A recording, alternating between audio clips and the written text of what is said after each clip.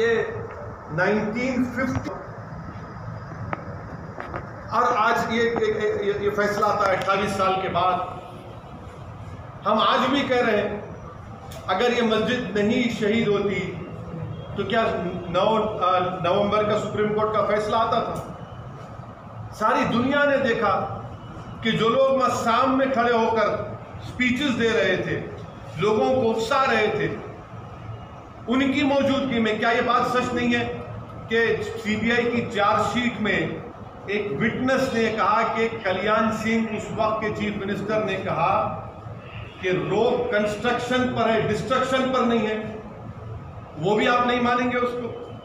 क्या सीबीआई की चार्जशीट में नहीं कहा गया था कि 5 दिसंबर की रात अडवाणी ने विनय कटियार के घर में साजिश रचाई?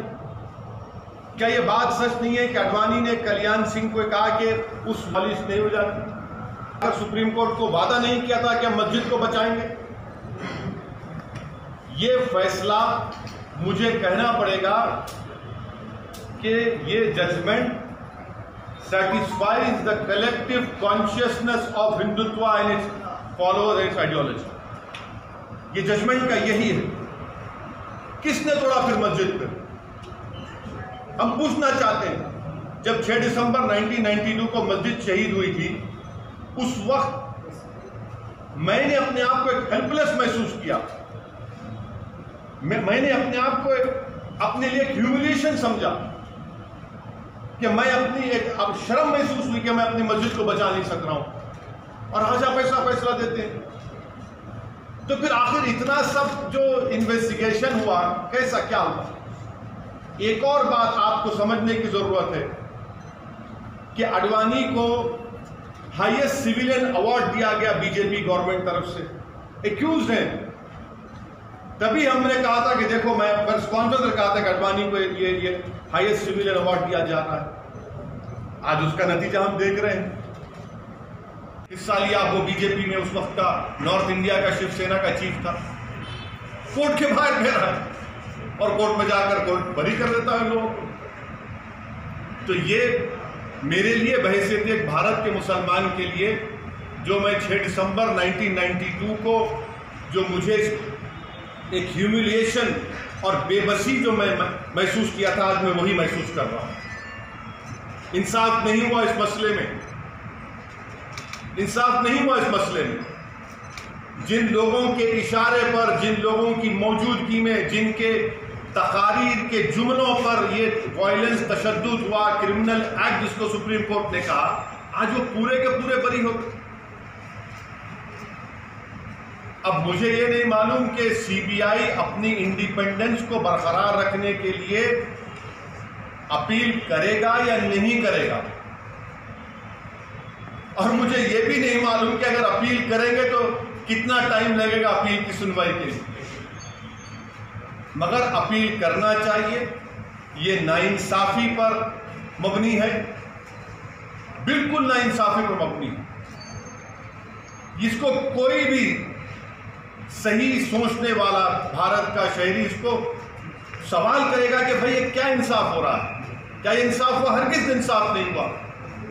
सारी दुनिया जानती है, सब जानते हैं कि बीजेपी, आरएसएस, विश्व हिंदू परिषद, शिवसेना इन तमाम की मौजूदगी में और साथ ही साथ कांग्रेस पार्टी। इसकी जड़ कांग्रेस पार्टी। इनकी हुकूमत में मूर्तियाँ रखी गई। इन्हीं की हुकूमत में राजीव गांधी ने ताले खुलवाए, शिलान्यास किया। इन्हीं की हुकूमत थी कांग्रेस की जब मस्जिद शहीद हुई। और आज ये फैसला आता है। इसीलिए मैं मानता हूँ कि ये हमारी भारत की अदालत की तारीख का एक काला दिन। कोर्ट देखिए सुप्रीम कोर्ट का फैसला आखिरी होता है। ये तो फैसला आखिरी नहीं ना? और कोर्ट के फैसले को नहीं के खिलाफ या उसके उससे डिसग्री करना कोई कंटेम नहीं है। मैं तो आपको तमाम दलाइल दे रहा हूँ। ये तमाम दलाइल दे रहा हूँ। कैसा फैसला किया। वही तो हम पूछ रहे हैं। वही तो हम कह रहे हैं कि आप ही की चार्जशीट में आप ये लिख रहे हैं कि कल्याण सिंह ने कहा कि रोप कंस्ट्रक्शन पर है डिस्ट्रक्शन पर नहीं है। उमा भारती ने कहा कि एक धक्का और दो। अडवाणी को, मुरली मनोहर जोशी को, उमा भारती को, बाल ठाकरे को, राजीव गांधी को शोहरत कैसे मिली पॉलिटिक्स में भारत में? इसी वजह से मिली ना। इनको पॉलिटिक्स में अगर शोहरत मिली, सत्ता मिली, कैसे मिली? इसी वजह से तो मिली कि आपने हमारी मस्जिद के ताले खुलवाए, मूर्तियाँ रखी और हमारी मस्जिद को शहीद किया आपने। इसीलिए तो आप होम मिनिस्टर बन गए। इसीलिए तो आप गंगा की सफ़ाई के मिनिस्टर बन गए। इसीलिए तो आप एचआरडी के मिनिस्टर बन गए। इसीलिए तो आप कल्याण सिंह गवर्नर बने। भाई, आपने मुझे खत्म करके मेरी बर्बादी के ऊपर आपने अपना सियासी महल तामीर किया और आज आपको क्लीन चिट दिया जा रहा है। आज आपको क्लीन चिट दिया जा रहा है। ये अफसोसनाक बात है। तो आगे क्या करने का विचार है सर? आ, आगे अब ये देखना है कि सीबीआई अपनी इंडिपेंडेंस को बरकरार रखने के लिए अपील करेगी या नहीं करेगी? और अगर सीबीआई नहीं करती तो मैं मुस्लिम पर्सनल लॉ बोर्ड के जिम्मेदारों से अपील करूँगा कि वो इसके खिलाफ अपील करें।